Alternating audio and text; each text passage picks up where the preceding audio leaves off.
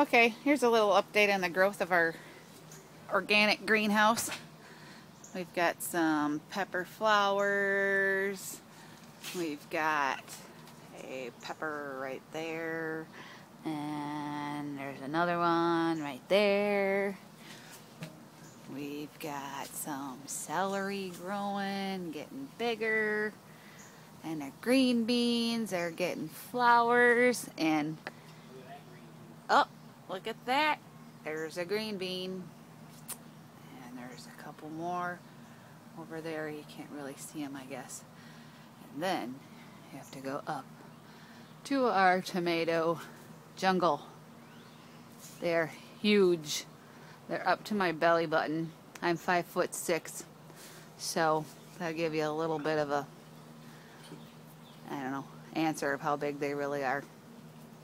I put some organic fish soil rescue on them two days ago and um, they have grown two inches in two days.